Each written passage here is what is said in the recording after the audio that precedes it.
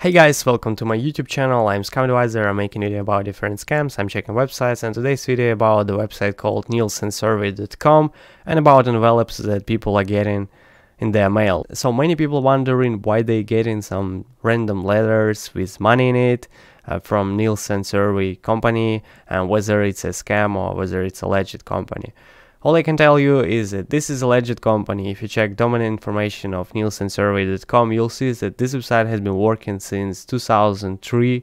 So it's a very old website. Lots of people are getting money from this company constantly. They're just completing surveys on nielsensurvey.com and after that they're getting like five ten dollars in envelope. So it's all legit you can use this survey company if you want. And if you don't want companies to know more about you and your household and your income etc then you can just ignore this letter because it's not an obligative thing to do something if you got a letter with money in it right? It's just the way how nielsen survey try to encourage people so they uh, do something and not just ignore the envelope. Because lots of people automatically assuming that if they got some envelope from some random company that saying their information then it's some kind of a scam. And i understand why they think so. But this time it's completely legit company and you actually can make from 5 to 10 dollars uh, per survey. Please write in the comments if you also got envelope with money in it uh, also write how much money they put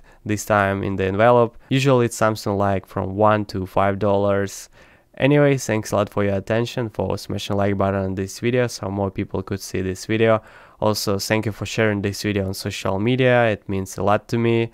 Uh, thank you for subscribing to my channel, and goodbye to you all.